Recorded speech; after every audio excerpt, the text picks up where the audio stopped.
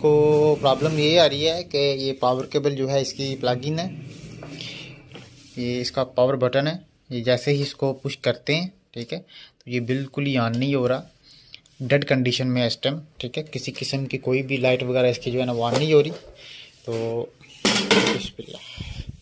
ये चीज़ चेक करें। ये पावर केबल है। ये इसकी पावर सप्लाई लगी हुई है। ये सप्लाई के बटन को पुश करते हैं तो ये ऑन हो जाता है, ठीक है।